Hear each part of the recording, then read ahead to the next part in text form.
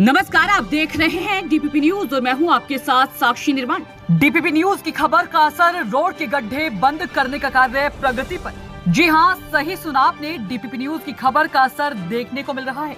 बिजनौर की सड़कों को गड्ढा मुक्त करने का कार्य शुरू किया गया है।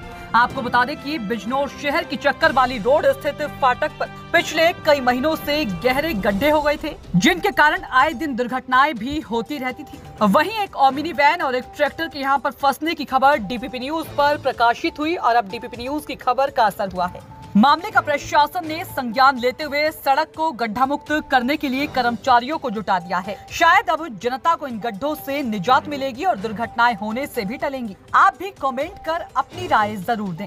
यदि आपके यहाँ पर भी किसी तरह की समस्या चल रही है तो आप हमारे नंबर सात चार शून्य नौ, सात दो शून्य नौ चार सात पर संपर्क कर जानकारी दे सकते हैं। हमारे साथ बने रहने के लिए धन्यवाद। यदि आपने अभी तक डीपीपी न्यूज़ को सब्सक्राइब नहीं किया है तो सबसे पहले सब्सक्राइब करें।